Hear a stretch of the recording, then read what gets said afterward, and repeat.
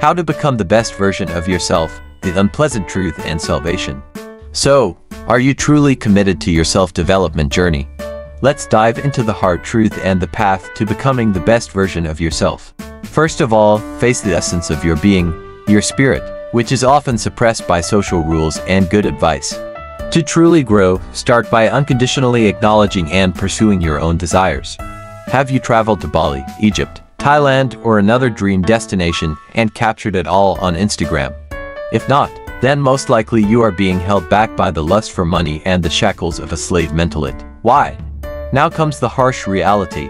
To get started in life, you need to earn a minimum of $10,000 a month. I understand that you may not like this. This is a bitter truth that requires recognition. Many have yet to experience the true essence of life, let alone grasp its richness. It won't be easy. You may find this unpleasant and even upsetting. Morning can bring a reflection in the mirror. The question immediately arises, why?